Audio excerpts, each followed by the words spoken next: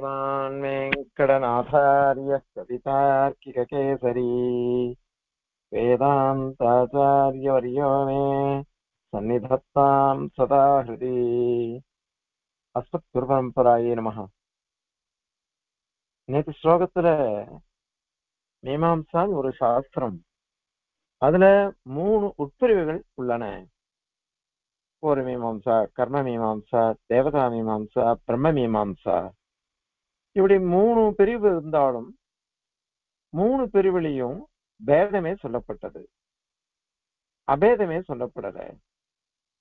அத மாதிரி பொய் அப்படின்றது எந்த மீமாம்சையிலும் இல்லவே இல்லை. சூத்திரகாரர் அந்த மாதிரி வாக்கியத்தை பதத்தை எதுவுமே பிரயோகிக்கல.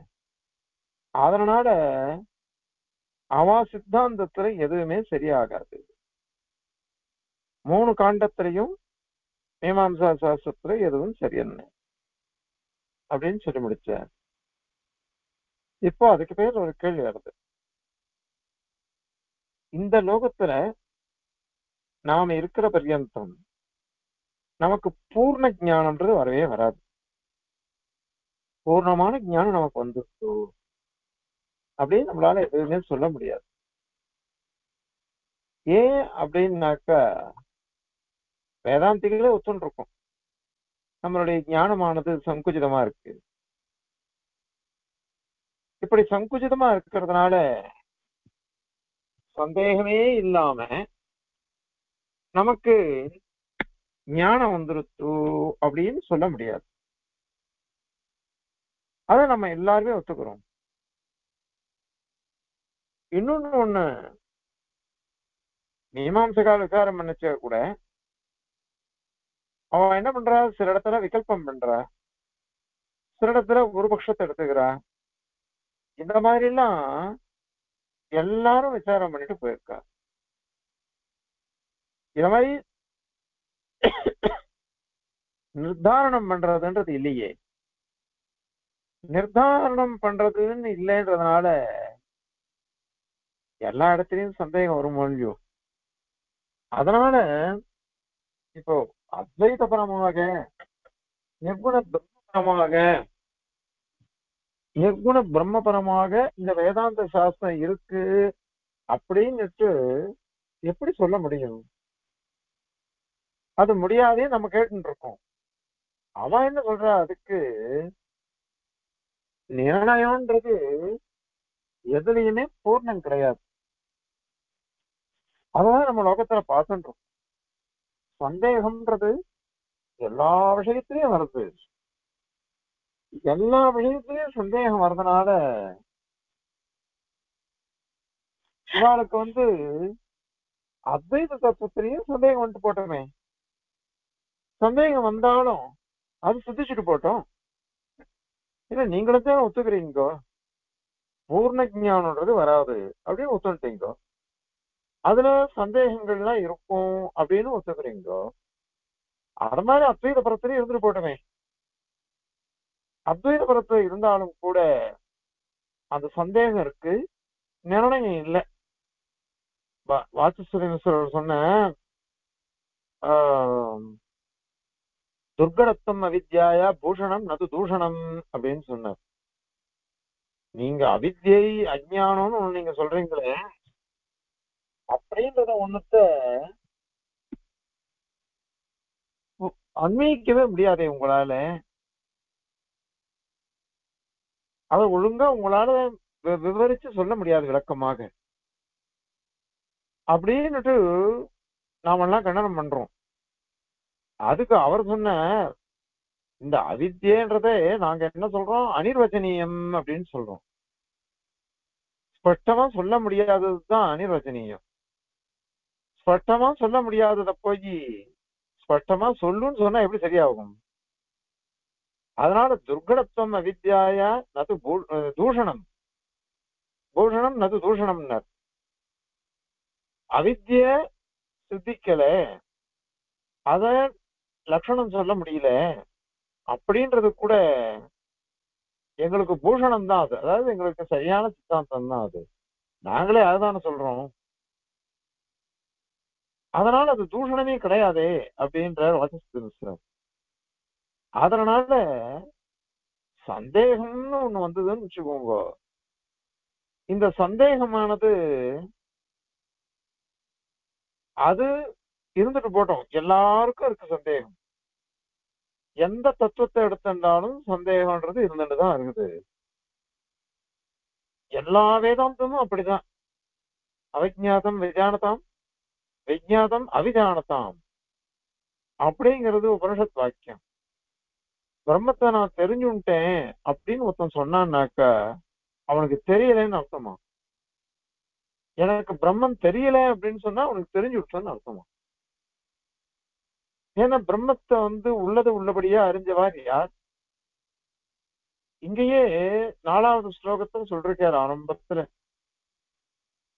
சாராவடியில கம்பீரே பிரம்மபாகே கணயுத்தம் அகிலம் கப்ரவீன பிரமேயம் இது பிரம்ம பாகம் இது பெரிய சமுத்திரம் இது. ரொம்ப ஆழத்தோட கூடின சமுத்திரம் இது. இப்ப அதான் முடிக்கிறார் இப்போ. கம்பீரமான பிரம்ம பாகத்துல முழுக்க முழுக்க இருக்கக்கூடிய பிரமேயங்களை தெரிஞ்சின்றவா யாரு? கப்ரவீன பிரமேயம். யாரால தெரிஞ்சுக்க முடியும்? திங்மாத்திரம் தர்சயன்னபி அகமிக निपुणैः பிராத்வமத்திய க்ஷணீய நான் ஏதோ திக் சூச்சி மாதிரி.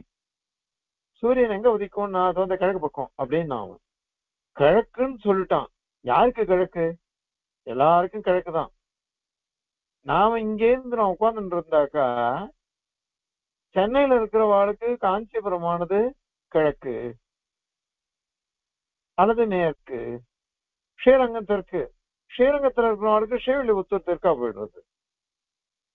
அதனால திக்கு வந்து எதுன்னு யாராலையும் சொல்ல முடியாது. ஆனாலும் கூட திங்மாத்திரம் ஏதோ ஒரு காமிக்கிறோம். பிரம்மன்னா இப்படி. திங்மாத்திரம் தர்சயன்னபி அப்படி நான் பண்ணினேன். அதுக்கோசரம் நீன வெறும் திங்மாத்திரம் தானே நீ திக் சூச்சி தானே பண்ணினேன் ஸ்பஷ்டமா சொல்லல. பூர்ணமா சொல்லல. ஏதோ கொஞ்சம் சொல்றேன் அப்படின்னு என்ன அலட்சியப்படுத்தாதீங்க பிராப்தம் அத்தியக்ஷணீய ஏன்னா கிருப்பையோடு அனுகிரகிக்கணும் நீங்கள் எல்லாம். மாபூன் நிச்சயிட சித்திகி ஏன்னா பூர்ணமா கிடைக்காட்டாலும் பரவாயில்ல. ஏன்னா மகான்கள்லாம் என்ன பண்ணுவா தெரியுமோ இல்லையோ நிசீவ ரத்னே ஒரு பெரிய சமுத்திரம் இருக்கு. அந்த சமுத்திரத்துல மொத்த முத்து எடுக்க போறான். சமுத்திரத்துல எவ்வளவோ ரத்னங்கள் எவ்வளவோ முத்துக்கள் எவ்வளவோ பாஞ்சஜன்யம் சங்கம்லாம் இருக்கு. எல்லாத்தையுமா எடுத்துன்னு வரான். ஏதோ ஒன்னத்தை எடுத்துன்னு வரான். ஒரு முத்து எடுத்துன்னு வரான். அந்த ஒரு முத்து எடுத்துன்னு வந்தா கூட ஒண்ணுதான் எடுத்துன்னு வந்த? இதை நான் ஏத்துக்க மாட்டேன். அப்படின்னு தூர போட்டுருவீங்களா? மாபூன் நிச்சய சித்திகி ததபி குணவிதா நிச்சயமனத்தினே மத்தியேகாரம் நிதேயம். மகதி ஜெகதிகம் மௌக்திகம் லப்தம் அப்தம். மௌக்திகம் முக்தது அது கணக்கு இந்த சமுத்திரத்துல கிடைச்சது. எல்லா இடத்துலயும் கிடைக்க கிடைக்காட்டா கூட ஒரு ஆரத்து நடுவுல அதை வச்சுக்கிற மொழியோ பெரிய முத்து நன்னா இருக்குன்னுட்டு. அந்த மாதிரி நான் ஏதோ சொல்றேன். சுவாமி எல்லாத்தையும் பூர்ணமா தான் சாதிக்கிறார். பூர்ணமா சாதிச்சா கூட நாம வந்து தன்னை அப்படி நினைச்சா நம்ம பண்ணிக்கிறார் தேசிகன் யாரால சொல்ல முடியும்? இப்படி ஒரு ஐநூத்தி அறுபத்தி ரெண்டு ஸ்லோகங்கள்னால ஸ்ரீபாஷத்துல வேண்டிய என்னென்ன அபூர்வ விஷயங்கள் தேவையோ அது அத்தனையும் அனுகிரகிச்சுட்டார் சுவாமி. சத்தம் தாக்கலாமே இதுக்கு முன்னாடி உதிச்சது. அதுலயும் சாதிச்சுட்டார் சுவாமி. இப்போ இந்த இந்த இங்கேயே சாதிக்க போறாரு. இப்போ ரெண்டு கணபதியை பத்தி சாதிக்க போறாரு சுவாமி. ரெண்டு கந்தத்தை பத்தியும் அழகா சாதிக்க போறாரு. ரெண்டு கந்தமும் நமக்கு வந்து தேவையானது அப்படின்ட்டு. பிரதிவாக பயங்கரம் அண்ணன் அறுநூறு வருஷம் முன்னாடி இருந்தவர் அவர் சாதிக்கிறார். சர்வஜத்துவம் தத்துவமுக்தா கலாபே தேசிகன் சர்வஜன்கிறது தத்துவமுக்தா கலாபத்தை தெரிஞ்சுக்கலாம். அந்த மாதிரி உசந்த ஆச்சாரியர் உசந்த கர்த்தங்களை அனுகிரகிக்கிறார். ஆனாலும் தன்னை நைச்சார ஸ்நானம் என்று அனுகிரகிக்கிறார் சுவாமி. நான் ஏதோ கா- சொல்றேன். அவன் வந்து ஒரேடியா நான் சொல்லாம் பூர்ணமா சொல்லாட்டா கூட எவ்வளவு சொல்லணும். அதுக்கேத்த மாதிரி என்ன அனுகிரகம் கிடைக்கும் பரத்த மத்தியக்ஷணிக இதான் குணவான்கள் பண்ற காரியம். அப்படின்றார். அதனால இந்த வேதாந்த சாஸ்திரம்ன்றதே எல்லாராலையும் அறிஞ்சிக்க முடியாதது. அவ்வளவு சூக்ஷமான விஷயங்கள்லாம் இருக்கு. அதுல நிறைய சந்தேகங்கள்லாம் வரும். அதனால பிரம்மச்சாரம் பண்ணச்ச நாங்க நி- நிர்குண பிரம்மன் நாங்க சொல்றோம். அதுல நீங்க நிறைய கேள்வி கேட்கலாம். நீங்க அதுலயும் சந்தேகம் வரலாம். அதை அப்படியே ஏத்துக்கோங்க. ஏன்னா எல்லாத்துலயுமே சந்தேகம் இருக்கு. அதனால நிர்குண பிரம்மவாதம் கூட சரியா தான் இருக்குது. அதனால அதை அப்படியே ஏத்துக்கலாமே. அப்படின்னுட்டு இவன் ஆக்ஷேபிக்கிறான். அத்வைதிகள்லாம் ஆக்ஷேபிக்கிறான்.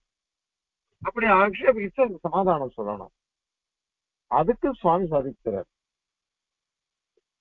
பொதுவா நீ சொல்றத பார்த்தா சாமானியமா சரியா இருக்க மாதிரி இருக்கு. ஆனா சூக்மமா பார்த்தாக்கா நீ சொல்றது தப்பு. நாங்க சொல்றது என்னது தெரியுமா? இது சமுத்திரம் தான் சமுத்திரம் மாதிரி வேதாந்த சாஸ்திரம்ன்றது சாமான்யமானது இல்ல. சமுத்திரத்துல பிரயாணம் பண்றவங்களுக்கு திசைய சொல்லணும். எந்த திக்குல போனா இந்த நாட்டுக்கு போலாம் இந்த தேசத்துக்கு போலாம் அப்படின்னு சொல்லணும். அதுக்கு சில பேர் சொல்லுவா அடிக்கடி சமுத்திரத்துல போறவங்களுக்கு தெரியும். எந்த பக்கம் போனா எந்த தீவு வரும் எந்த நா- தேசம் வரும் அப்படின்னு அவளுக்கு தெரியும். அவனா நாவிகாள் கர்ணதாராள் அப்படின்னு சொல்றா அவள. நாவிகாள் அதாவது படகு ஓட்டுருவா கப்பலை ஓட்டுருவா அவளுக்கு நாவிகாள் கர்ணதாரான்னு பேரு அவ வந்து பெரிய சமுத்திரத்துல போகச்ச கூட அழகா மார்க்கம் சொல்லி கொடுப்பா. அந்த மார்க்கம் சொல்லி கொடுக்கிற சமயத்துல அதுக்கு அனுகுணமா நம்ம எல்லாம் போனோம்னு வச்சுக்கோங்களேன். அப்போ எந்த இடத்துக்கு நாம போகணுமோ அந்த இடத்துக்கு சரியா போய் சேர்ந்து வரலாம் இத மாதிரி இருக்கு. அவ நாவிகால் காமிக்கிறாள வழி அவனுக்கு எல்லா பிரபஞ்சமும் தெரிஞ்சிருமாண்ணா? அல்லது சமுத்திரத்துல இருக்கிற அத்தனையும் தெரிஞ்சிருமா? எல்லாமே அவளுக்கு தெரியாதே அதனால எதை எதை எப்படி எப்படி தெரிஞ்சுக்க முடியுமோ அதை அதை தான் அவளால தெரிஞ்சுக்க முடியும். எல்லாத்தையும் அவளால தெரிஞ்சுக்க முடியாது. ஆனால் ஒண்ணு எதை அவசியம் தெரிஞ்சுக்கணுமோ அதை அவ தெரிஞ்சுட்டு நமக்கு மார்க்கத்தை காமிச்சு கொடுப்பா. இது சமுத்திரத்துல பிரயாணம் பண்றவாளுக்கு மார்க்கம் சொல்லி சொல்லித்தரக்கூடிய நாவிகாலுடைய காரியம். மாலுமிகள் கப்பல் மாலுமிகள் அப்படின்னு சொல்றார் அவளுடைய காரியம் அந்த காரியத்துல சிலது தெரியாம இருக்கலாம். ஆனா எது அவளுக்கு அவசியம் தெரியணுமோ அவளுக்கு அது தெரிஞ்சிடும்.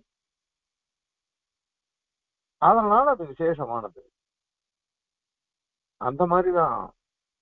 இந்த உபனிஷத் அப்படிங்கிறது பெரிய சமுத்திரம்.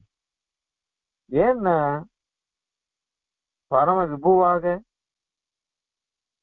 அசங்கேயமான சுரூப சுவாவ விபூதிகளை உடைய எம்பெருமான்.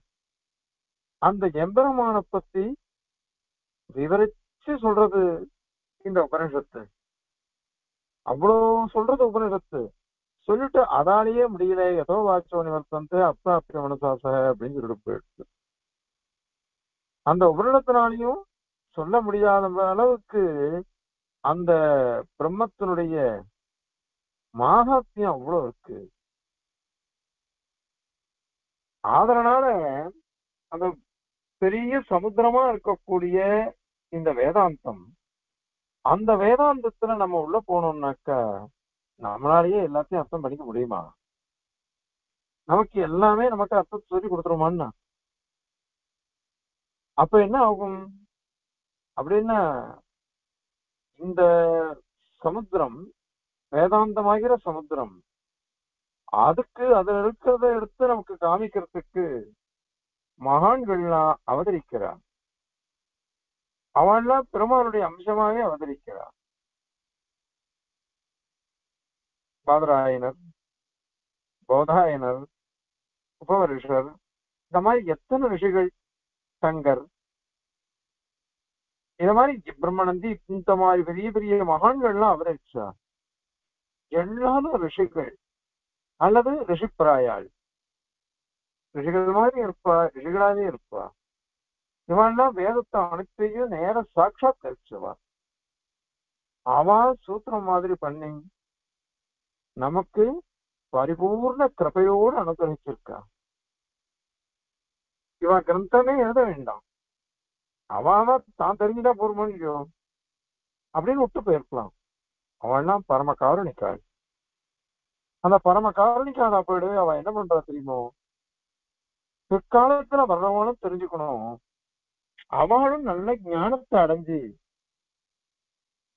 அற்புதமான கதியை அடையணும். அப்படிங்கிறதுக்கோசரம் தான் இந்த கிரந்தங்கள் எல்லாம் அனுகிரகிச்சு ஆவா. அதனால அவள்லாம் நாவிகால் மாதிரி இருக்காளாம். பெரிய சமுத்திரத்துல கப்பல் ஓட்டுறவாள்லாம் எப்படி வழி காமிப்பாளோ அந்த மாதிரி இந்த ஆச்சாரியாள் மகரிஷிகள் இவ எல்லாரும் மாதிரி நமக்கு வழிகாட்டுறான் வேதாந்தமாகிற ஒரு சமுத்திரம். அந்த சமுத்திரத்துல நமக்கு எதை எதை தெரிஞ்சுக்கணுமோ அதை அத்தனையும் அவ நமக்கு சொல்லி வழிகாட்டுறா. சூத்திரக்காரான வாழலாம் அதுக்கப்புறம் விற்த்திகாரர் வந்த விற்த்திகாரர் சொன்னதை யாரால் அறிஞ்சுக்க முடியும்? இந்த இதுல வந்து சிவபாஷ்யத்துல பூர்வபக்ஷியும் விற்பி கிரந்தத்தை உதாரிக்கிறார். சித்தாந்தியும் விற்பி கிரந்தத்தை உதாகரிக்கிறார் இது ஒரு வாட்டி வரைச்சு சுவாமி கிட்ட கேட்டோம். இது எப்படி இது? விற்பிகாரருடைய வச்சனத்தை ரெண்டு பேரும் உதாரிக்கிறாளே. இது எது பிரமாணம்? அதுக்கு சுவாமி சாட்சியாச்சு. இது பிராச்சீன கிரந்தம். அத உடனே நம்மளால அர்த்தம் பண்ணிக்க முடியாது. எது பூர்வபக்ஷம்? எது சித்தாந்தம்? அப்படின்னு நம்மளால அர்த்தமே பண்ணிக்க முடியாது. அந்த மாதிரி இருக்கக்கூடிய கிரந்தங்கள் அது அதனால அவாவா தனக்கு அனுகூலமான வாக்கியத்தை எடுத்துருவா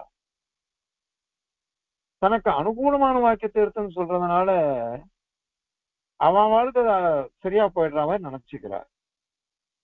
ஆனால் எம்பெருமானாரோ பொறுத்தாழ்வானோட காஷ்மீர தேசத்துக்கு எழுந்துருளி அங்க போய் அந்த பதாயன விற்பி கிரந்தத்தை கண்டுபிடிச்சு அதை முழுக்க ஏகசந்த கிராகி கூறத்தாழ்வான் அவர் பார்த்து எல்லாத்தையும் இது பண்ணி அதை சாதிச்சு அதுக்கு அனுகுணமா ஸ்ரீபாஷ்யத்தை அனுகிரகித்தார். ஏன்? ஆள வந்தார் அவருக்கு பாஷ்யத்துக்கு அர்த்தம் பண்ண முடியாதான்னா? அவர் பாஷ்யம் பண்ணக்கூடாதோ? சூத்திரத்துக்கு. ஏன் பண்ணல? அப்படின்னாக்க அவர் திருவுள்ள என்னன்னாக்க விற்பி கிரந்தத்தை பார்க்கணும். போதாயன விற்பியை பார்த்துட்டு அதுக்கு அனுகுணமா எழுதணும்னு அனுகிரகிக்கணும் அப்படின்னு அவருக்கு ஆசை. அது அவர் காலத்துல முடியல. அதுதான் எம்பெருமானார் பண்ணினார். அதனால சூத்திரக்காரர் வாய்ச்சது சூத்திரம் தானே சுருக்கமா சொல்லிட்டு போயிட்டாரு அவர். அந்த சூத்திரக்காரர் திருவுள்ளத்தை அறிஞ்சின்ற எழுதினவர் போதாயனர் அவர் விற்பி பண்ணினார். அந்த விற்பி இருக்கே அதை யாரால கிரகிக்க முடிஞ்சது? அது கிடைக்கவே இல்லை முதல்ல. அது காஷ்மீர் தேசத்துல இருக்குன்னு சொல்லிட்டு அங்க போய் அது சம்பாரிச்சுன்னு சந்திரமானாரும் குரத்தாழ்வார் அப்படிப்பட்ட அந்த விற்பி கிரந்தத்துக்கு அனுகுணமாக எம்பெருமானார் பாஷ்யம் பண்ணினர். பகவத் போதாயன கிருதாம் விஸ்தீர்ணாம் பிரம்மசூத்திரவர்த்திம் பூர்வாச்சாரியா சஞ்சிக்ஷுபு தன்மதானுசாரேன சூத்திராட்சராணி வியாக்கியாசியந்தே அப்படின்னு பாஷ்யக்கார பிரதிஜை பண்ணிக்கிறார். அது ரொம்ப விஸ்தீர்ணமா இருந்த இருந்த விற்பி. அத பூர்வாச்சாரியால சங்கரிச்சுட்டா. ரொம்ப விஸ்தீர்ணமா இருந்தாலும் அர்த்த அவகாணம் பண்ண முடியாது. ரொம்ப சங்கரகமா இருந்தாலும் பூர்ணமான ஞானம் வராதுனால ஸ்பஷ்டமா தெரியாது. அதனால பாஷ்யக்காரர் என்ன சொன்ன தன்மதானுசாரேன. விற்த்திகாரருடைய திருவுள்ளத்துக்கு ஒப்பும்படியாக அவர் மதத்தை அனுசரிச்சு சூத்திராட்சராணி வியாக்கியாசியந்தே அக்ஷரங்களை வியாக்கியானம் பண்றேன். நான் வந்து வெறும் சூத்திரத்துக்கு சங்கரமா சொல்லிட்டு போல. ஒவ்வொரு அக்ஷரத்துக்கும் ஒவ்வொரு அக்ஷரத்துக்கும் அர்த்தம் தெரியணும். அப்படி தெரிஞ்சாதான் நம்மளால பிரம்ம மீமாசையில நிர்ணயாத்மகமான ஞானத்தை அடைய முடியும். இல்லாம போனாக்கா அந்த ஞானமானது நமக்கு வராம போயிடும். அதனால விற்த்திகாரர் உள்ள என்னவோ அதை உகந்து இவா எழுதினா. அப்படி எழுதினதுனாலதான் பிரம்மனை அனுகிரகிச்சதுனாலதான் சூத்திரம் என்ன அபிப்பிராயப்படுறதோ அதுக்கு அனுகுணமாக விற்பியில எப்படி இருக்கோ அதுக்கு அதை வச்சுட்டு பாஷ்யம் பண்ணினார் எம்பெருமானார். வைஸ்வானர் அதிகரணம் அதிகரணம். முதல் அத்தியாயம் இரண்டாம் பாதம் கடைசி ஆறாவது அதிகரணம்.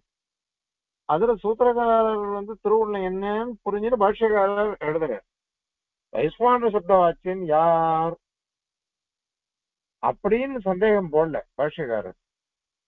வைஸ்வான சப்தத்துக்கு அர்த்தம் நிச்சயம் பண்ண முடியுமா முடியாதா?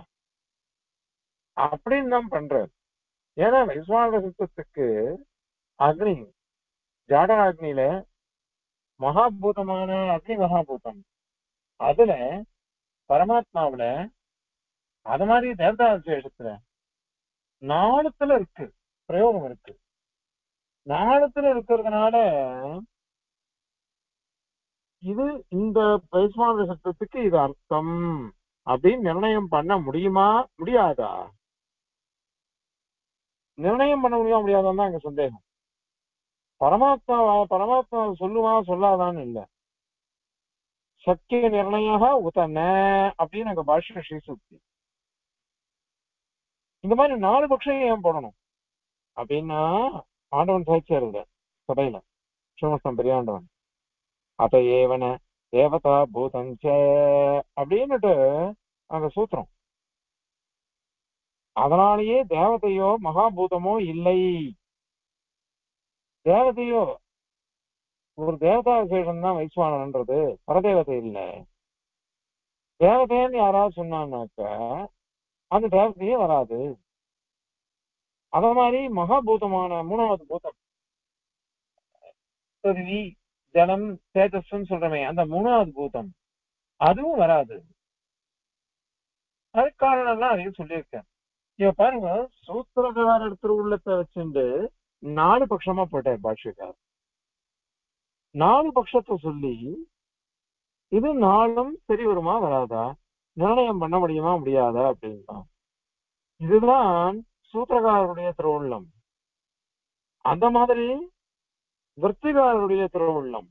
இது ரெண்டுத்தையும் அறிஞ்சுட்டு இவர் எழுதினார். பாஷத்தை அப்படி அனுகிரகிச்சு இல்லைன்னாக்கா நமக்கு என்ன தெரிய வரும்?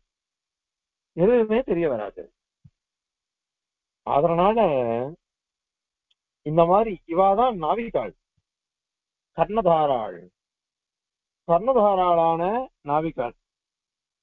அவெல்லாம் யாருன்னா தேசிகாள் ஆச்சாரியாள். ஆச்சாரியாள். ஆச்சாரியாள் என்ன பண்ணுவா? நல்ல மார்க்கத்தை தான் காமிச்சு கொடுப்பா. அழகா காமிச்சு கொடுப்பா. நமக்கு எது ஹிதமோ அதை உண்டுதான் காமிச்சு கொடுப்பா. ஆச்சாரியால் ஒன்றுதான் நம்மள சுவாதீனமா வெய்யணும். நல்ல பெஸ்ட் அழகா சொல்லி கொடுக்கறவா தான் ஆச்சாரியால்.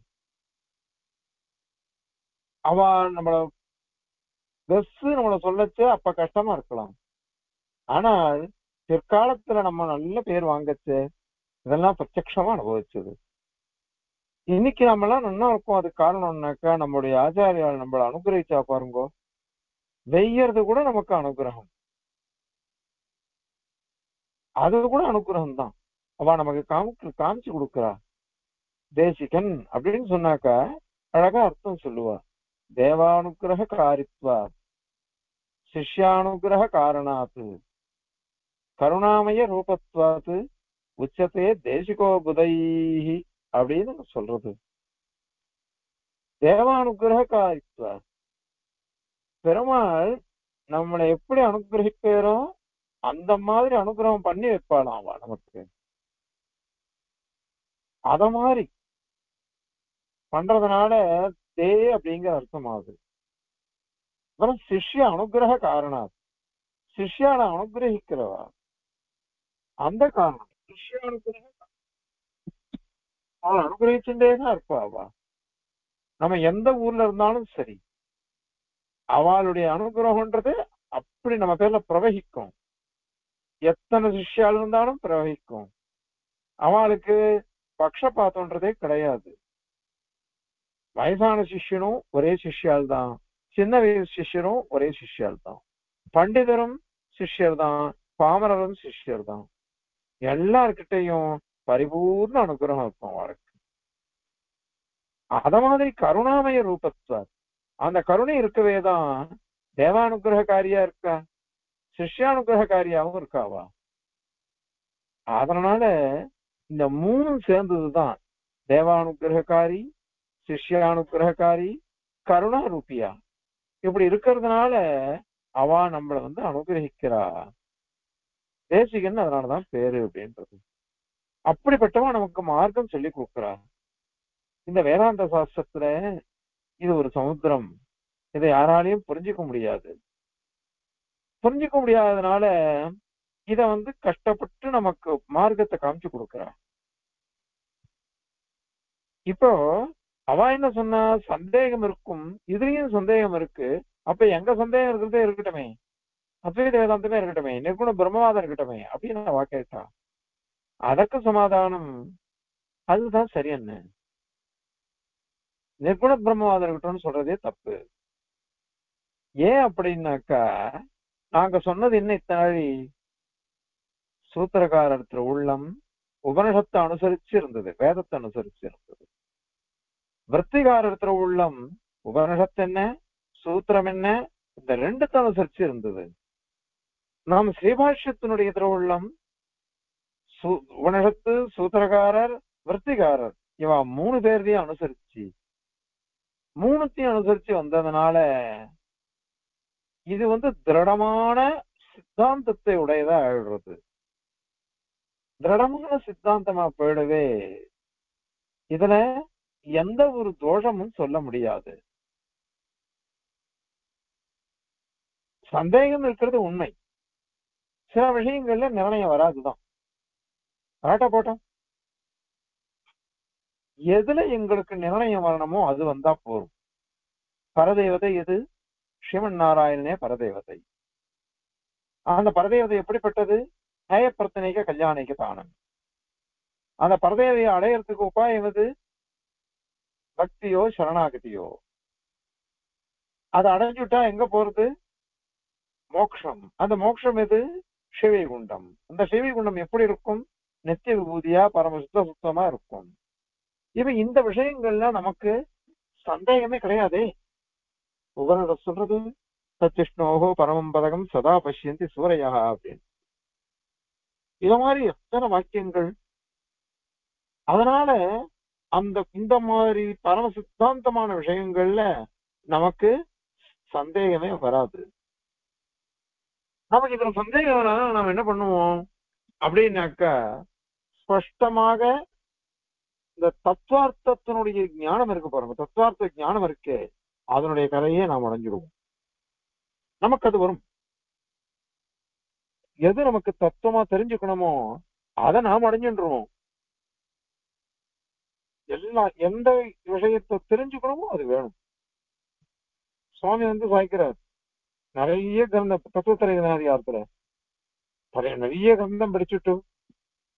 சந்தேகப்பட்டு சாஸ்திர ஞானம் பகுத்தேசம் புத்தே சரண காரணம் உபதேசாத் அரிம்புத்வா விரமே சர்வகர்மம் மகாசாஸ்திரஜான சுவாமி தேசிகன் சாஸ்திர ஞானம் பகு கிளேசம் அப்படின்னு சொல்லிட்டார்.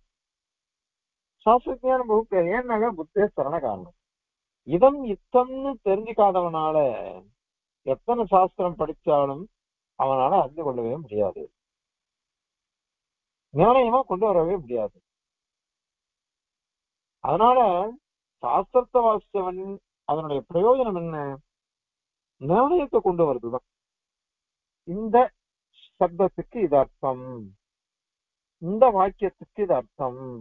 அப்படின்னுட்டு வாக்கியார்த்த ஞானத்தை நல்லா அறிந்து கொள்ள வேணும். அதை தெரிஞ்சுக்காதவனால தானும் குழம்பி பொறுத்தியாரையும் குழப்பி எதுவுமே நிர்ணயம் பண்ணாம மாட்டின் முழிக்கிறத காட்டணும் அதெல்லாம் படிக்கவே வேண்டாம். அதிகார சங்கரத்துல சுமையான கல்விகள் என்று அப்படிங்கிற சுமையான கல்விகள்.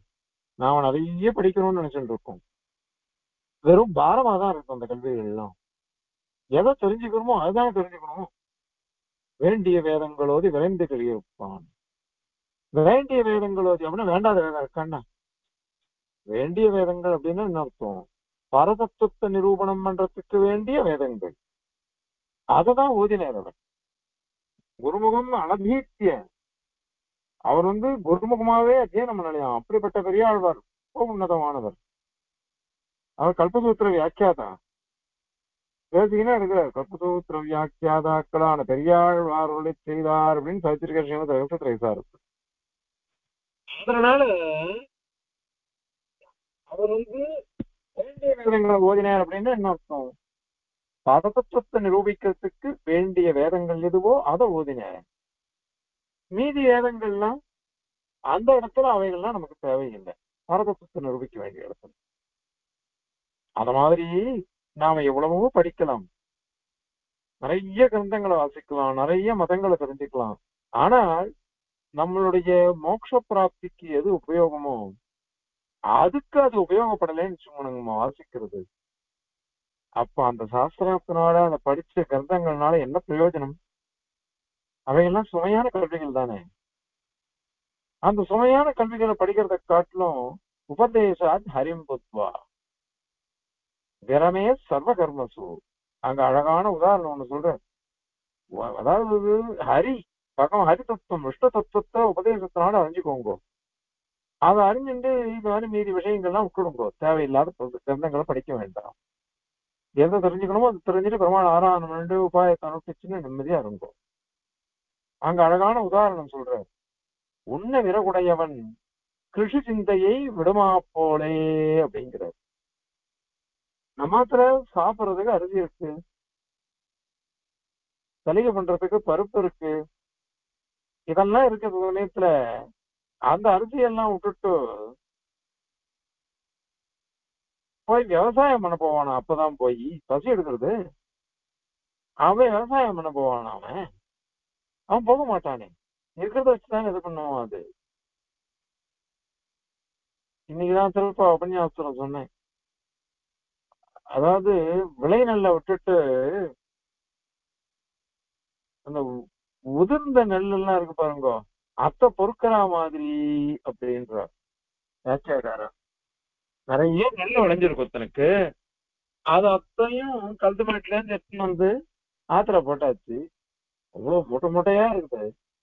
அத்தனை மூட்டை மூட்டையா நெல் வச்ச ஒரு கொஞ்சம் நெல் உதிர்ந்து போயிருக்குது அத போய் ஒருத்தன் பொறிக்கிட்டு இருக்கானா?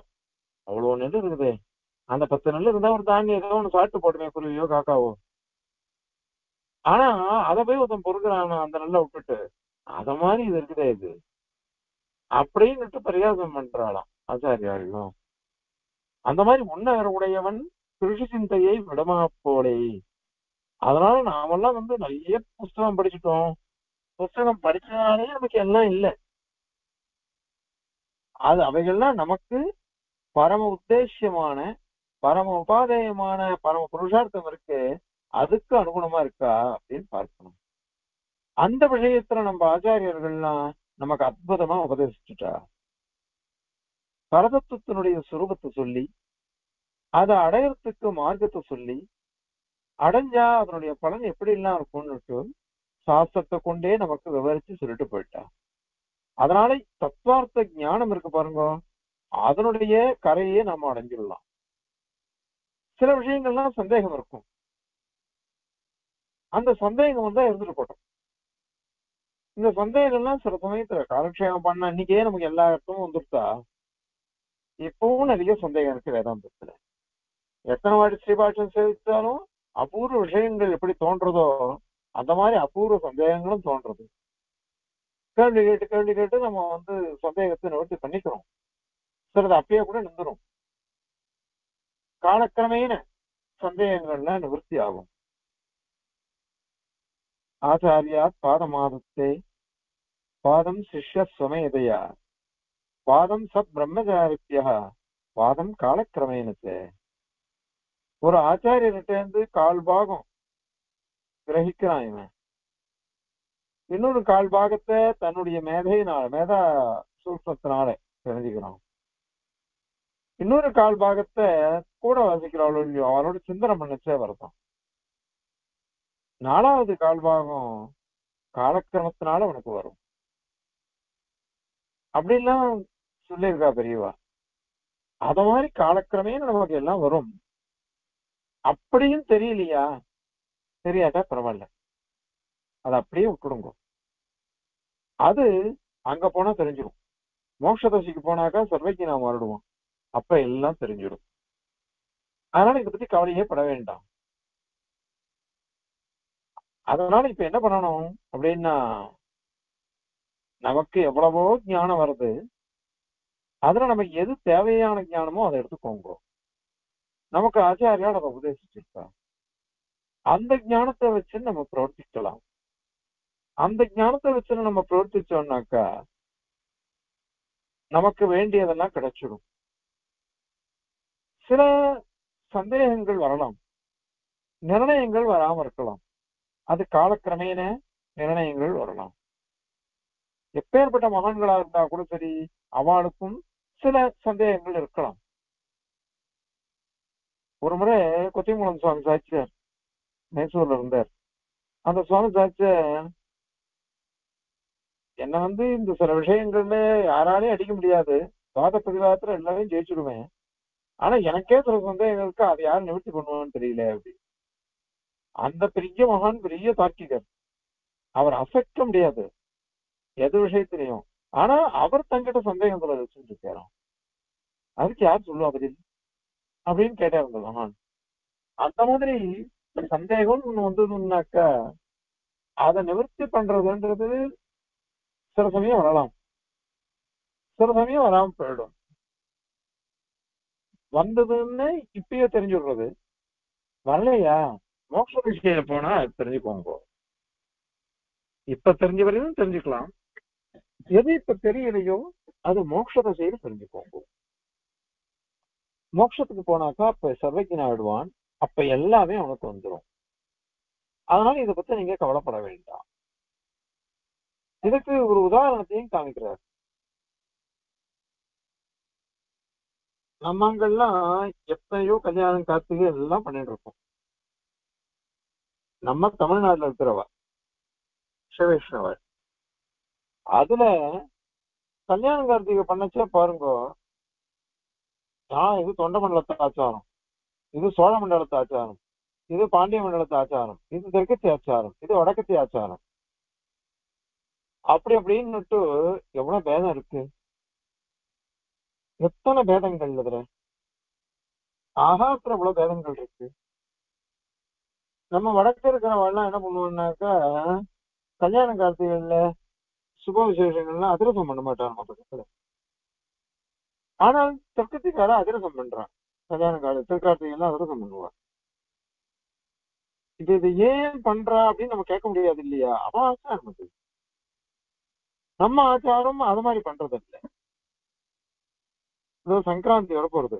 சங்கராந்தி அன்னைக்கு இந்த பக்கம் காஞ்சிபுரம் பக்கத்துல இருக்கிறவெல்லாம் என்ன பண்ணுவான்னாக்கா அஞ்சாறு கரமணிகள் பண்ணுவான். ஒரு பாயசம் பண்ணுவா ஏதோ பண்ணிடுவான் ஆனால்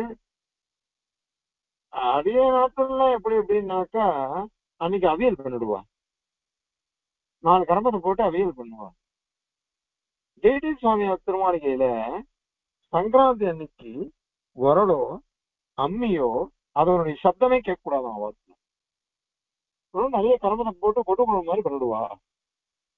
பாருங்க ஒரு ஆகார விஷயத்துல எத்தனை நமக்கு பேதங்கள் இருக்கு. இதை நாம எவ்வளவு பார்த்துதான் இருக்கோம். அந்த மாதிரி கல்யாணம் பண்ணச்சேனோ கல்யாண பிரக்கிரியில கல்யாண பிரக்கிரியில கூட நிறைய பேதம் இருக்கு. இது தமிழ்நாட்டுல மட்டும் சொல்றது.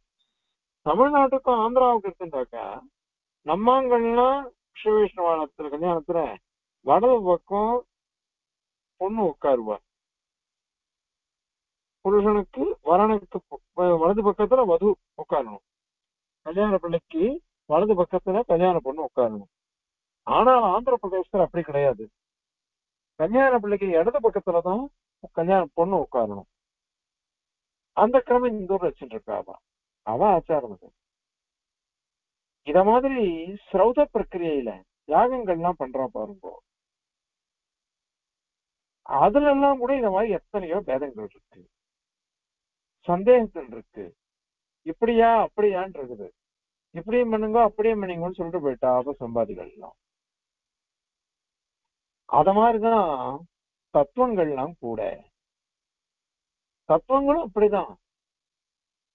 பெருமாளுடைய சகஜ காரண்யமே நம்மளை காப்பாத்தும் அப்படின்னு ஏகதேசிகளும் சொல்ற அதெல்லாம் கிடையாது. சகேதுகமான கருணை தான் காப்பாத்தும்னு தேசியம் சாதிக்கிறார். இந்த ரெண்டுத்துலயுமே சரி இதெல்லாம் வைபவவாதமா எடுத்துக்கலாம். யோஜனா பேதமா எடுத்துக்கலாம். விரோதம் ஏன் எடுத்துக்கணும்? வைபவவாதம். அல்லது யோஜனா பேதம் போயிடலாம். விரோதமே கூடாது. விரோதம் வந்தாதான் இந்த பட்சம் தப்பு இந்த பட்சம் தான் ரைட்டு அப்படின்னு சொன்னாதான் பரஸ்பரம் மனஸ்தாபம் வருது பரஸ்பரம் கிளேசங்கள் வருது. அதனால துவேஷம் எல்லாம் வருது. நிறைய அபச்சாரம் வந்து நிக்குது. அதனால யோஜனா பேதம் வச்சுக்கோங்க. அங்க போனா எல்லாம் தெரியுது நமக்கு? எது சரின்னு. அவ மனோபாவத்துக்கு நம்ம தெரிஞ்சுக்கலாம். ஒவ்வொரு தத்துவத்திலையும் எப்படிதான்? அதுல ஒன்னே ஒண்ணு.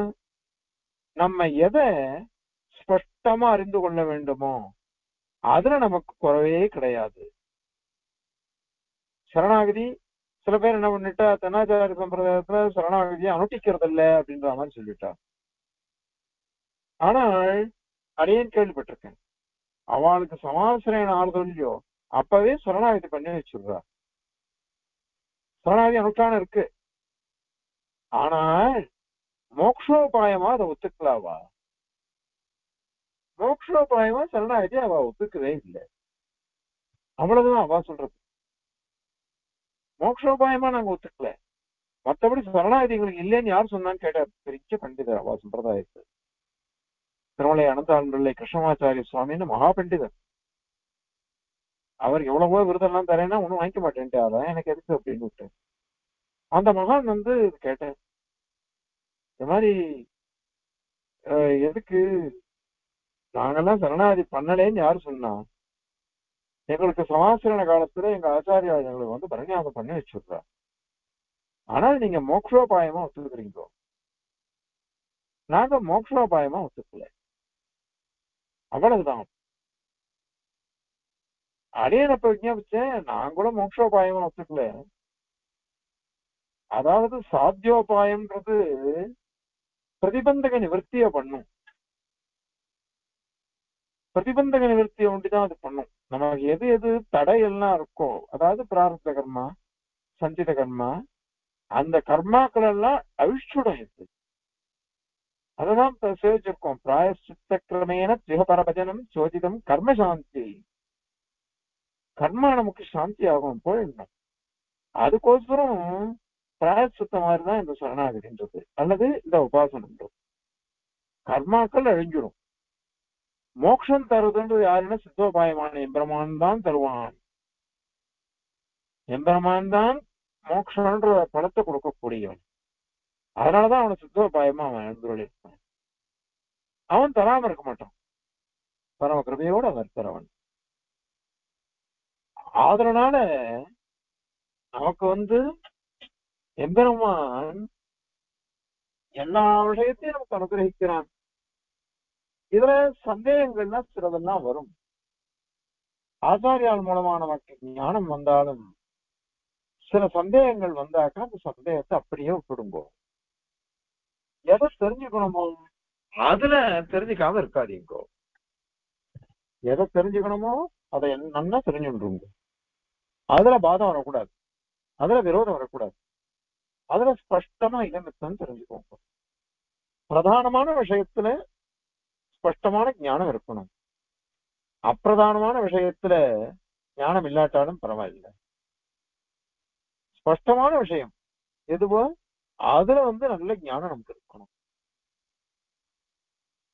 அப்பிரதானமான விஷயத்துல ஸ்பஷ்டமான ஞானம் இல்லாட்டாலும் பரவாயில்ல. அது அங்க போய் தெரிஞ்சுக்கலாம். அல்லது காலக்கிரமேண தெரிஞ்சுக்கலாம். ஆகவே உங்க சித்தாந்தத்துல அந்த மாதிரி இல்லையே. ஸ்பஷ்டமான ஞானம் வரவே இல்லையே. நீங்களே சொல்லிட்டீங்க துர்கடத்துவம் அவித்யாயா பூஷணம் அது தூஷணம் எதுவுமே உங்க இத சித்திக்கலையே உபரண வாக்கியங்கள்லயே ஒரு பக்கத்தை அப்படியே விட்டுட்டீங்கோ வேதபர வாக்கியங்கள் எல்லாம் அப்புறமானோட்டீங்கோ ஒரு கட்டம் வரைச்சே தத்துவஜானம் வந்துருத்துனாக்கா ஆத்ம ஜானம் வந்துருத்துனாக்கா வேதமே கூட அப்புறமானோம் அப்படின்னு அவ சொல்லிவிட்டா அப்படியானாக்கா அந்த வேதத்தை தெரிஞ்சின்றதோ அல்லது வேதத்தினால வந்த ஞானத்துக்கோ என்ன பிரயோஜனம்? அதனால நிர்குண பிரம்மவாதத்துல சந்தேகம் இல்லை. நிர்ணயம்ன்றது எதிரியுமே இல்லை. எல்லாத்துலயும் சந்தேகம் சந்தேகம் சந்தேகம் தான். ஏற்கனவே சொல்லிட்டோம் ரெண்டு ஸ்லோகத்தினால. தியானாதின் தத்பிரபாவம் ஒரு ஸ்லோ- ஸ்லோகம்.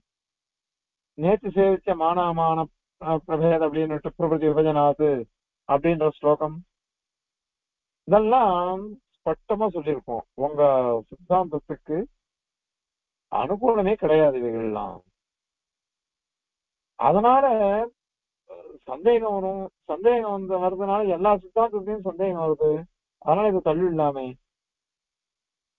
சந்தேகம் இருந்தாலும் பரவாயில்ல. நிர்குண பிரம்மவாதம் சரிதான். அப்படியே வச்சுக்கலாமே. அந்த மாதிரி தானே நீங்க கேட்டீங்கோ? அதுவே தப்பா எடுத்து இப்போ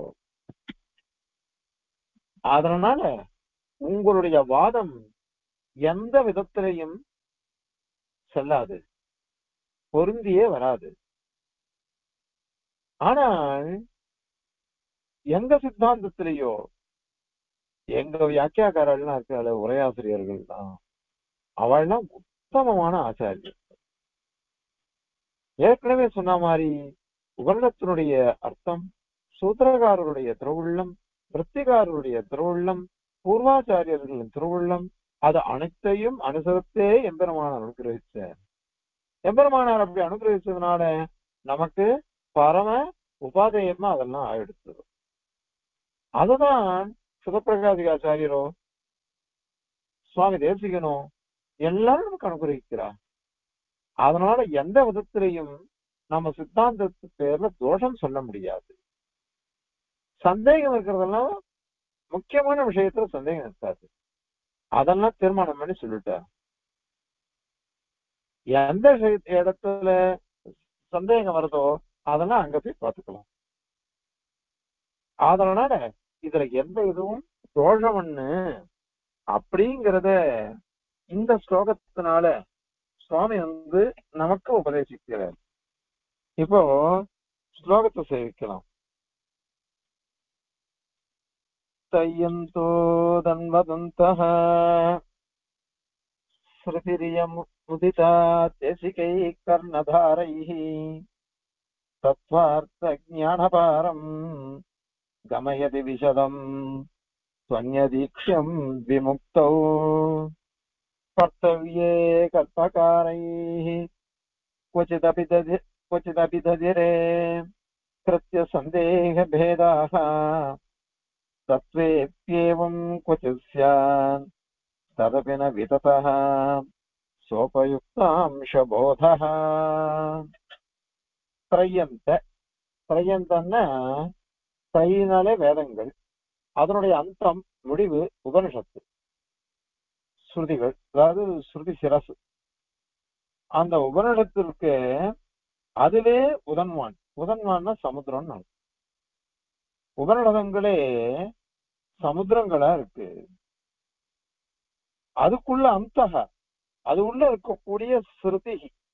ஸ்ருதினாக்க மார்க்கம்னு அர்த்தம். உபரிடத்துல உபநத உபரிடங்களாகிற சமுத்திரம் மகா சமுத்திரம். அதுக்குள்ள இருக்கக்கூடிய மார்க்கம் இருக்கு. அந்த மார்க்கம் நமக்கு தெரியல. நமக்கு தெரியாத மார்க்கமானது கர்ணதாரைகி தேசிகைகி இயம் உதிதா. இந்த இயம் இந்த ஸ்ருதி மார்க்கம் இதுவானது கர்ணதாரை நாவிகால் மாலுமிகள். மாலுமிகள் ஸ்தானத்துல இருக்கக்கூடிய தேசிகை ஆச்சாரியர்களால் உதிதா உபதேசிக்கப்படுறது. இப்படி உபதேசிக்கப்படுறதுனால நமக்கு என்ன ஆகுது? அப்படின்னா ஆச்சாரியால்னா எப்படிப்பட்டவா? அவள் இதம் இத்தம்னு நமக்கு உபதேசிக்கக்கூடியவா அவ அவ சொல்றது எல்லாமே சரியா இருக்கும். அதனால அப்படிப்பட்ட உத்தமமான ஆச்சாரியர்களால் நமக்கு எல்லாம் உபதேசப்பட்டது. அது வியாசராகட்டும் போதாயனராகட்டும் எம்பரமானாராகட்டும் ஸ்ருத பிரகாசிகாரராகட்டும் அல்லது சுவாமி தேசிகன் ஆகட்டும் எல்லாருமே நமக்கு அவ்வளவு அற்புதமாக உபதேசிச்சிருக்கார். அதனால தத்துவார்த்த ஞானபாரம் கமயதி. அவனால உபதேசிக்கப்பட்ட இந்த மார்க்கமானது தத்துவார்த்த ஞானபாரம். தத்துவார்த்தத்தினுடைய ஞானம் இருக்கு. அதனுடைய பாரம் கரையை கமயத்தி அடைவிக்கிறது. அஹ் அதுக்கு இன்னொரு பாடம். முக்கியத்துவ ஞானபாரம் அப்படின்னு அர்த்தம் பண்றேன் அதுக்கும் ஒரு பாடம் இருக்கு. முக்திக்கோசரம். எந்த ஞானம் வேணுமோ அதனுடைய கரையை வந்து நமக்கு அடைய வைக்கிறது. தத்துவார்த்தமே முக்கியத்துவம் தானே. அதனால இங்க சொன்னாலும் தப்பு இல்லை. கமயதி. விஷதம் கமயதி. நமக்கு எப்படி ஸ்பஷ்டமா தெரியணுமோ அந்த மாதிரி நமக்கு ஞானத்தை அடைய வச்சுடுறாவா அவளால உபதேசிக்கப்பட்ட மார்க்கமானது நமக்கு எல்லாத்தையும் காமிச்சு கொடுக்கறது. அந்நது எது எது நமக்கு தெரியலையோ அவைகள்லாம் விமுக்தவ ஈக்ஷியம். விமுக்தி மோட்ச தசை அப்ப எல்லாத்தையும் தெரிஞ்சுக்கலாம். சர்வம பஷ்ய பஷ்யதி அப்படின்னு வாக்கியம் இருக்கு. இங்கேருந்து போறானோ இல்லையோ? இங்கேருந்து போறவன் அங்க பார்த்து எல்லாத்தையும் பார்க்க ஆரம்பிச்சிடுறான் சமீஜனா போயிட்டதுனால அப்ப எல்லாத்தையும் அவங்க பார்ப்பான் அதனால மோட்ச திசையில அவனுக்கு சந்தேக நிவர்த்தி எல்லாமே சரியா போயிடும். அப்படி சந்தேக நிவர்த்தி வந்துருச்சுன்னு வச்சுக்கோங்க. அதுவே போருமே. இதுக்கோசரம் கஷ்டப்படணுமான்னு. அதனால நமக்கு எது தத்துவார்த்தம்? அதனுடைய ஞானம் அதனுடைய பாரம் கரை அதை நமக்கு ஆச்சாரியால் நல்லா உபதேசம் சொல்லி கொடுத்துடுறா. சில விஷயங்கள் தெரியாம இருக்கலாம். அத வந்து முக்கிய தசையில அது தெரிஞ்சுக்கோங்க போதும். முக்கிய தசையில அது தெரிஞ்சுட்டா போதும். அப்படியானாக்கா அப்ப சந்தேகத்தோட நமக்கு கூடின ஞானத்துக்கு என்ன பண்றது? சந்தேகத்தோட கூடின ஞானம் என்னைக்குமே விபரீதம். சந்தேகமே வரக்கூடாது. அது வந்துட்டு விபரீதம் தானே. அதுக்கு என்ன பண்றது? அப்படின்னா இதுல என்ன இருக்கு? அனுஷ்டானங்கள்ல கர்மானுஷ்டானங்கள்ல கல்பகாரெல்லாம் இருக்காளே கல்பசூத்திரக்கார ஆபத் சம்பாதிகள் அவள்லாம் வந்து நிறைய ஸ்கிருப்ட் சந்தேக பேதங்களை சொல்லிட்டு போயிட்டா. கர்த்தவி கல்பகாரைஹி கல்பகாராளால அதான் கல்பசூத்திரக்காராளால கர்த்தவியே. அனுஷ்டான விஷயத்துல கிருத்திய சந்தேக பேதாக. அனுஷ்டிக்க வேண்டிய விஷயங்கள்ல எத்தனையோ சந்தேகங்கள்லாம் சொல்லிவிட்டு போயிருக்கோம். ரெண்டு பட்சம் மூணு பட்சம் அப்படின்னா இருக்கு. நிறைய இருக்குது. இன்னைக்கு கூட சந்தேகம்லாம் வருதா வாழ்க்கை? மீமாம்சகால் ஒரு நிர்ணயம் பண்ணி வச்சிருக்கா அது தேரி. ஆனா பிரயோகத்துல பிராக்டிக்கல்ல பாக்கச்ச மீமாம்சகால் சொல்றதுக்கு விரோதமா பண்றாளாம். காரணம் அதுதான் எங்க சொல்ற பிரக்கிரிய. நாங்க அப்படிதான் பண்ணோம் எங்களுக்கு அதான் இருக்கு. அப்படின்னு அவன் சொல்றான். அடியனே கேட்டேன் சில விஷயங்கள்ல. அதற்கு அவன் சொன்னான் சுவாமி புஸ்தகத்துல இருக்கலாம் சுவாமி. அனுஷ்டானத்துல இப்படிதான் சுவாமி. இப்போ காஞ்சிபுரத்துல போனா ஒரு விஷயம் தெரியும். பெருமாளுக்கு ஆராதனம் பண்ணுவா பெருமாள் மேற்க பார்த்து எழுந்துள்ள இருக்கார் ஏன் மேற்க பார்த்து எழுந்திருக்கார் பெருமாள்னாக்கா கிழக்க பார்த்து உட்கார்ந்துட்டு யாகம் பண்ணார். சதுர்முக பிரம்மா. அப்ப பெருமாள் பிரத்யட்சம் வரையிலும் இல்லையோ? பிரம்மாவுக்கு அனுகிரகிக்கிறதுக்கு மேற்க பார்த்து எழுந்துள்ள விட்டார். இவன் ஆராதனை பண்ணச்சு என்ன பண்றான்னாக்கா அர்ச்சகெல்லாம் பெருமாளுக்கு இடது பக்கம் தான் ஆராதனை பண்றான் நம்ம எல்லாத்தையும் எப்படி பாக்குறோம் எல்லா கோயில்லையும் பெருமாளுடைய வலது பக்கம் தான் ஆராதனை பண்ணணும்.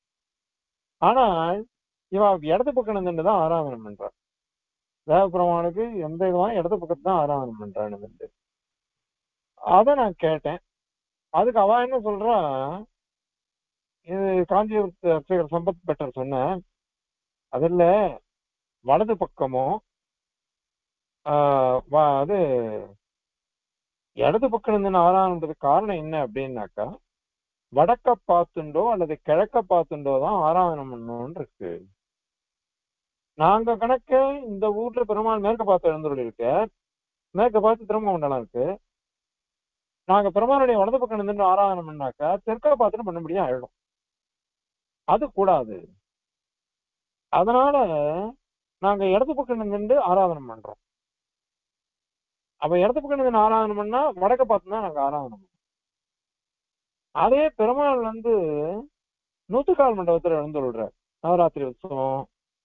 பல்ல உற்சவம் அதுக்கெல்லாம் நூத்துக்கால் மண்டபத்துல பெரிய மண்டபம் இருக்கு. அதுல இழந்து விடுறாரு பெருமாள். அப்ப பெருமாள் வந்து தெற்க பார்த்து எழுந்துள்ளிருப்பார் அப்ப இவன் என்ன பண்றான்னா பெருமாள் வடக்கு பக்கம் நின்றுட்டு ஆராதனை பண்ணி விடுறான் வலது கை பக்கம் நின்றுட்டு ஏன்னாக்கா அப்படி ஆராதனை பண்ணிச்சுதான் கிழக்கு பார்த்து ஆராதனை பண்ண முடியும். அப்ப என்னாச்சுன்னாக்கா கும்பகோணத்துல ராமானுஜ பாட்டராச்சார்னு இருக்கார். அந்த சுவாமி என்ன பண்ணார்? பாஞ்சராத்திர புஸ்தகத்தை எடுத்து அடையன்ட்ட காமிச்சார். தேவப்பிராச்சின்னு ஒண்ணு சொல்லுவா அதாவது பெருமாள் எந்த எந்த திக்க பார்த்து எழுந்துள்ள இருக்காரோ அதுதான் கிழக்கு. அப்படி சொன்னா ஆறாம் பண்ணும் அப்படின்னு ஒரு பட்சம் இருக்கு. அது கிரந்தத்துல இருக்கு. சாந்தராத்திர சம்மிதையில இருக்கு. அதை எடுத்து காமிச்சார். அதுக்கு இவா என்ன சொல்லிட்டா? சுவாமி கிரந்தத்துல அப்படி இருக்கலாம்.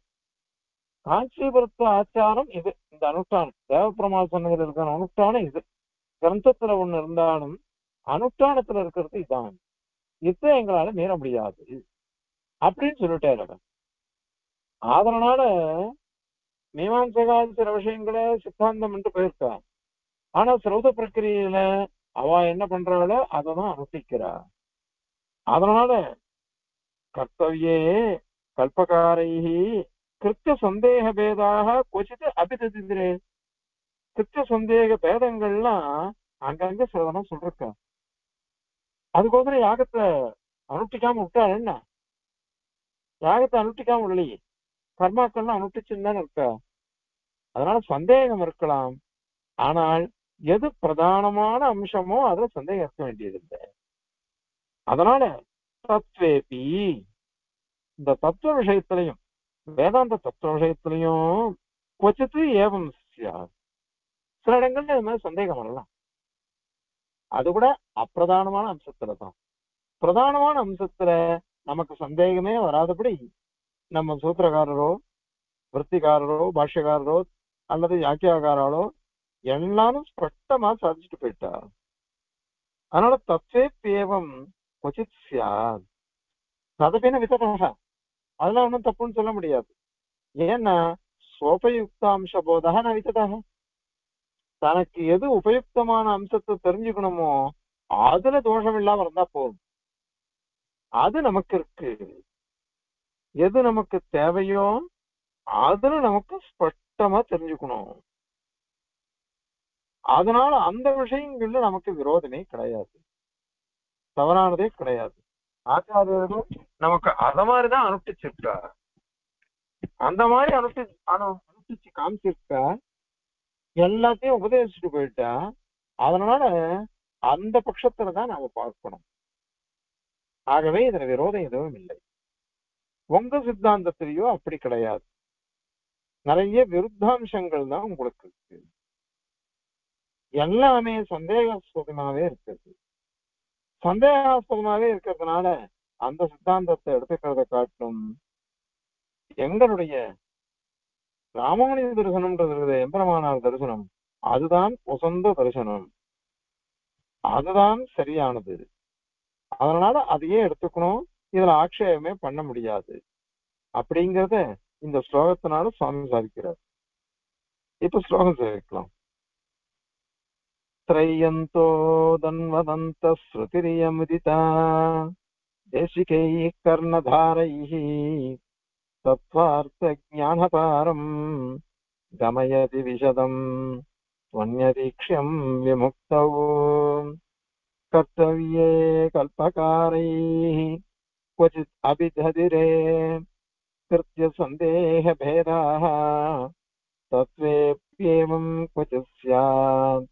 तदपि न विततः सोपयुक्तांशबोधः कवितार्किकसिंहाय कल्याणगुणशालिने श्रीमते वेङ्कटेशाय वेदान्तगुरवे नमः। अस्मद्गुरुपरम्पराय नमः।